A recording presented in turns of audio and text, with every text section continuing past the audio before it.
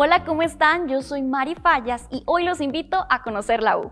Es normal que si ustedes son estudiantes de primer ingreso les cueste un poco familiarizarse con los edificios de la universidad, pero no se preocupen. Si tienen que llevar clases en los diferentes edificios, pueden encontrar todos los mapas de las sedes universitarias en este enlace de acá abajo. O si no, pueden descargar la aplicación de Campus UCR. Y de paso, si ya estás en AU, puedes utilizar la aplicación de Sodas UCR para ver cuál es el menú de las diferentes sodas oficiales dentro de la universidad. Recuerda que para tener un buen rendimiento académico es muy importante que te alimentes sanamente y te preocupes por tu autocuidado. Por medio de la siguiente página, la Oficina de Bienestar y Salud te ofrece información y guía para nutrirte y cuidarte de la mejor manera. Uno de los lugares más importantes dentro de la U es la biblioteca. Si ocupan un libro para estudiar o para hacer sus tareas, pueden pedírselo prestado al sistema de bibliotecas, documentación e información, donde se le facilitará el acceso a una gran cantidad de libros físicos, electrónicos, bases de datos, revistas y documentos de apoyo